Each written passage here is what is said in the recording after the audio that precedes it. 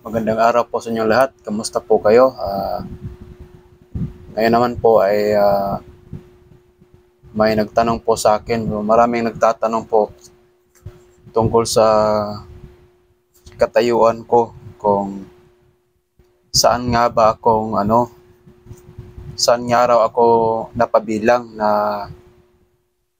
na sekta po ng mga ano ah, Christian kung anong kung saan ako napabilang na ano Christian community po. So marami pong nagtatanong kung ano talaga yung katayuan ko. So ah, mga kapatid, ah,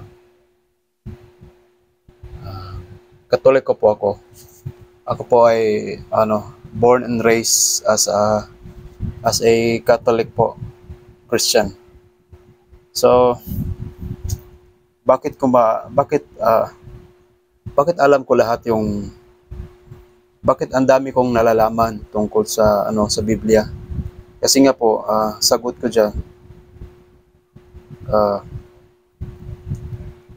naniniwala po ako mga kapatid na ah, nandito po sa Biblia lahat yung ating kailangan. Yung mga kailangan nating malaman po. So tayo'y inaanyayahan po ng mahabaging Diyos ang ating ah, ang ating creator po. Siya yung ating ama. So kasi nga may ang yung iba sa akala nila akala nila ako isang pastor ak- sa ibang ano sa ibang grupo. Ngunit hindi po, ako po isang katoliko po talaga. Ginagawa ko to kasi nga gusto kong i-share sa inyo po sa kapwa ko ah, Catholic Christian po. Gusto ko pong ipaalam sa inyo na mahalaga po na mahalaga po na bumasa tayo sa ah, Biblia po. Napaka-importante po kasi nga tayo ay inaanyayahan ng Panginoong Diyos. So mababasa mo yan. So dito sa ah, ikalawa ng ah, hindi pala, unang kawikaan pala. Ito po, yun, ito po yun. So babasahin ko. Ah, ah, dito sa verses 20 po hanggang ah, 27. Ah, ano pala? Dito muna sa 20, ah, 20 hanggang 22. Ito po yun ang panyaya ng karunungan. So, nag-anyaya yung ano po, yung karung, karunungan para sa ating lahat. Karunungay umaalingaw-ngaw sa mataong lansangan. Tinig niya'y nangingibabaw sa lugar ng pamilihan. Ito ay lumalampas sa mataas na mga muog. Ang ugong niya'y naririnig sa pintuan nitong lungsod. Taong mangmang walang hustong kaalaman hanggang hanggang kailan ka tatagal sa aba mong kalagayan? Hanggang kailan ka mananatili sa iyong kamangmangan? Kailan mo pa iisiping maghanap ng kaalaman? Ang payo ko ay pakinggan nyo at dinggin ang aking pangaral. Sa sa inyo ang diwa ko at ang aking kaalaman. So, yun po. Patuloy nga itong mga panawagan ko sa inyo Ngunit hindi ninyo pansin pati mga saway ko. Winalang bahalan nyo ang aking mga payo. Ayaw niyong bigyang pansin, paalala ko sa inyo. Dahil dito, kayo'y aking tatawanan kapag kayo'y napahamak, nasadlak sa kaguluhan. Kapag kayo ay hinampas ng bagyo nitong buhay, dinatna ng kahirapan, ipo-ipo ang larawan, at kung datnan kayo ng hapis ng matinding dalamhati sa araw na iyon, ay di ko papakinggan ang iyong panawagan. So, hahanapin ninyo ako ngunit hindi masusumpangan, pagkat itong karunungan ay di ninyo pinahahalagahan. So, yun po mga kapatid. Malinaw po yun na para sa ating lahat, itong mga salita ng Diyos na nandito sa ah, Biblia po. So, importante po na mabasa po natin. So, dito naman sa Kawikaan, ikawalo ng Kawikaan, so verses uh, uh, 4. So ito po yon. Kayo'y tinatawagan ko, tao ng sandaigdigan, sandaigdigan, para nga sa lahat nitong aking panawagan. Kayong walang nalalaman ay mag-aral na maingat, at kayong mga mangmang, pangunawa ay bukas. Salita ko ay pakinggan pagkat ito'y mahalaga. Bumubukal sa labi ko ang salitang magaganda. So, yun po. Mga kapatid, uh, mga kapatid kong katoliko. So, oh, totoo po yung ano, totoo po yung uh, sinabi noon ni Ka L. Soriano po. So, uh, naawa siya sa atin talaga kasi nga karamihan po sa atin ayaw ayaw mag uh, ayaw magsalita. So, ayaw, ayaw, karamihan sa atin, hindi talaga nila gusto, ano, parang hindi sila interesado sa, ano, sa salita ng Diyos. So, ayaw man lang magbanggit. Uh, so, hindi ko alam kung ikinahihiya nila yung kanilang uh, pagiging katoliko or kristyano po. Tama yung sinabi ni ano ni uh, Kaeli Soriano po. Naaawa siya sa atin kasi nga karamihan po sa atin ayaw bumasa ng Biblia po. Yun po yung katotohanan. So nalulungkot po talaga ako. Ako po isang katoliko din. So, uh, bakit bakit nga ba ako nag, nagkaganito? So, one day kasi naisip ko, naisip ko, baka, baka nga, di ba? So, baka, baka hindi totoo yung sinabi nila. So, paano, paano ko malalaman? So, ang ginawa ko, naghanap talaga ako. Gumawa ako ng paraan kung paano ko uh, sisimulan yung, so, yung aking pananampalataya. Saan ako kukuha ng pananampalataya. So, dito yon Kasi mga kapatid, dito sa, kung naba, nabasa nyo, dito sa Matthew, sinabi ng ano eh, ito yung Ito yung sinabi ng Panginoon. So, nakakalungkot mga kapatid. So, pakinggan niyo po. Hindi lahat ng tumatawag sa akin, Panginoon, Panginoon, ay papasok sa kaharian ng langit, kundi ang mga taong sumusunod sa kalooban ng aking Ama na nasa langit. Sa araw ng paghuhukom, ito, marami ang magsasabi sa akin, Panginoon, hindi po ba't sa iyong pangalan ay nangaral kami.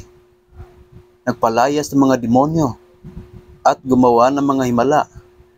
Ngunit sasabihin ko sa kanila, hindi ko kayo kilala. Lumayo kayo sa akin. Kayo mga gumagawa ng kasamaan. Mga kapatid, nakakalungkot isipin. Nakakalungkot isipin na uh, tayo pa naman ay kiniklaim natin na tayong totoong totoong itinatag ng Panginoong Hesus. So, totoo po yan. Walang, walang duda po. Tayo po yon. Pero wag niyong sabihin mga kapatid na hindi maililigtas yung hindi kabilang sa ating mga katoliko. Kapag sinabi niyo yan, so, nagiging judge na kayo yan. Nag, uh, pinapangunahan ninyo ang Diyos. Wag, wag kayong ganyan po mga kapatid, mga kapatid kong katoliko. Huwag kayong ganyan.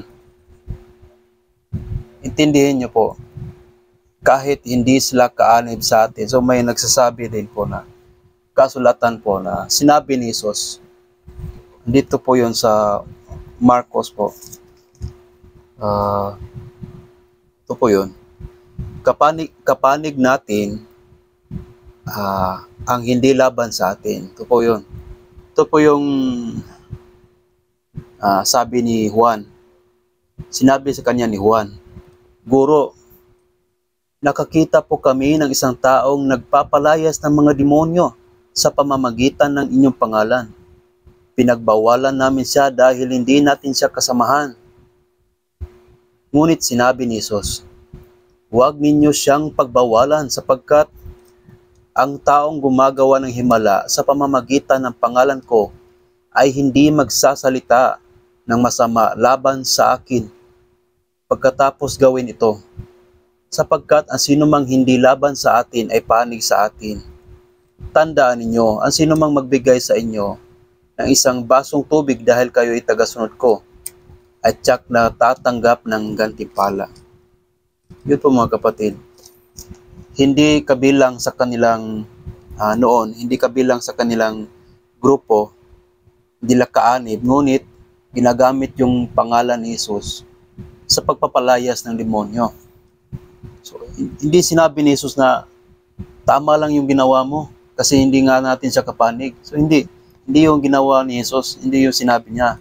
Ang sabi niya, huwag ninyo siyang pagbala, pagbawalan sapagkat ang taong gumagawa ng himala sa pamamagitan ng pangalan ko ay hindi magsasalita ng masama laban sa akin. So, yun po. Mga kapatid, uh, wag ninyong pagsabihan ng ano, masama yung uh, hindi kaanib natin. Huwag niyo sabihin na ay hindi na sila maliligtas kasi nga tayo lang yung itinatag. Totoo po yan. Totoo po yan na tayo yung itinatag. Ngunit kapag sinabi niyong hindi sila maililigtas, so para na lang sinabi niyo na kayo yung uh, naghuhusga. Mga kapatid, naghuhusga na kayo niyan Huwag tayong ganyan po kasi nga uh, hindi natin alam mga kapatid. No? Hindi tayo binigyan ng authority na mag-judge tungkol sa ating kapwa, lalong-lalo na sa mga hindi kaanib po. So, uh, uh, mga kapatid, uh, siguradong sigurat siguradong uh, may mag-unfollow sa akin sa ganitong ano sa video kong ito. Ngunit okay lang yan. Hindi bale po. Kasi nga, importante pong malaman ninyo. You have the right to know po na uh, hindi po po pwedeng ganun. So wag tayong ganun mga kapatid kasi nga ang Diyos, uh, kasi nga sinabi, uh, sinabi na banggit na po doon sa binasa ko nung una na para sa lahat yung uh, panawagan ng Diyos para sa atin. Yung paanyaya ng karunungan ko. Basahin niyo po. So, try niyo pong magbasa po. Importante po talaga. So, uh, hindi po ibig sabihin hindi hindi kayo na nakapag-aral ng ano po uh, ano po ba yan so, sa college po na tungkol sa ano hindi ibig sabihin nun na hindi kayo nakapag-aral ay hindi ninyo matututunan yung salita ng Diyos kasi nga ibinibigay yung kaalaman ng Diyos sa mga taong gusto, gusto nito, sa mga taong naghahanap. Kagaya ko mga kapatid. So, kakasimula ko pa lang. So, hindi ko pa hindi ko pa ano kabisado talaga lahat ngunit uh, kapatid inaanyayahan tayo ng Diyos na tayo'y uh, makinig sa mga salita niya. So, see it for yourself mga kapatid. So, magbasa tayo ng Biblia. Kasi nga, importante po to kasi nga, pagdating ng araw ng paghuhukom, hindi mo pwedeng sabihin mga kapatid na, ay, Panginoon, yun po kasi yung sabi ni ano eh. So, hindi tayo pwedeng mag-blame sa mga araw na yon ang mabe-blame mo dyan yung sarili mo. Kung bakit hindi mo nagawang makinig noon. Hindi mo hindi mo malang ma-mention yung pangalan ni Jesus, di ba? So baka ikinahiya mo. So wag natin ikahiya po ang Panginoon. Kasi kapag ginawa natin 'yon, eh kinahihiya tayo rin. So ikakahiya tayo ng Diyos. Ikakahiya rin tayo niya. So, yan po uh, uh, ulitin ko po, ako isang uh, born and raised as a Catholic Christian po. Kaiba lang po kasi nga ako uh, nagdasal ako sa Diyos talaga na sana po Panginoon ay uh, bigyan niyo po ako ng kaliwanagan. Bigyan niyo po ako ng kaalaman. Gusto kong malaman yung totoo. Gusto kong ah, masagot yung mga katanungan ko. Kasi nga, mga kapatid, sinasabi ko, marami akong kaibigan. May kaibigan akong ano, taga-ibang sekta po. So, mga kaibigan ko yun eh. So, hindi ko naman pwedeng sabihin po na ano, ah, hindi sila hindi sila maililigtas. So, Diyos lang yung may alam noon. So, siya na yung bahala doon. Doon kasi nga siya yung ah, siya yung totoong hukom, mga kapatid. Wala tayong authority na maging hukom over the other Christian community po. Di tayo pinayagan na ganun. Totoo po mga kapatid, tayo yung ah, yung katel- katoliko, walang duda. Walang duda po diyan. ang Diyos yung nagtatag sa atin. Pero wag niyong sasabihin mga kapatid na hindi itinatag yung mga yung mga hindi kaanib sa atin po, yung mga hindi kaanib ng katoliko. Ano ba ano po ba problema? Hindi po issue 'yan. Hindi po talaga issue 'yan. May issue noon. Kung babalikan niyo yung unang panahon, kung bakit kung bakit po umalis yung ibang ah, sabihin na lang natin ibang miyembro ng simbahan po. Bakit nga ba sila umalis? Yun yung punto, yun yung katanungan, bakit nga ba? So, pag alis nila, hindi naman nila kinalaban si Jesus.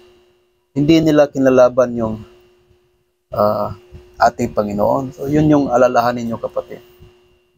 Ah, may problema po. May problema po talaga. So, ah, nananawagan po talaga ako sa inyo. Ah, hindi pa huli ang lahat. Tayo ay ah, matuto tayong mag-aral ng ano po, salita ng Panginoon. Kasi nga tinatawagan tayong lahat upang mag-aral. So wag tayong wag nating ah, sayangin yung panahon. Kasi nga hindi mo na maibabalik yung oras. Ito yung pinaka mag- magandang leksyon na, natu- na natutunan ko mga kapatid. Hindi mo kayang ibalik yung oras. So sana may sasabihin mo na lang na sana ganito ako noon, sana kung maibabalik ko lang. So hindi mo na kayang gawin yan mga kapatid. Hindi mo na pwedeng idadahilan yan. So kailangan may gawin ka ngayon para sa bukas. So I hope mga kapatid na may ah, may natutunan kayo at sana po ay wag po kayong ah, magtampo, wag kayong magalit sa akin kasi nga sinasabi ko lang po yung kung ano pong nasa Biblia po. Ulitin ko po ako po isang katoliko. So, hinihimo ko po kayo na ah, see it for yourself po. So, tingnan nyo po yung kung ano pong nasa loob ng Biblia po. Baka sakali po ma, ah, ah, may matutunan kayo. So mga kapatid, I hope na may natutunan kayo sa video ng ito at ah, see you to my next video. Bye-bye.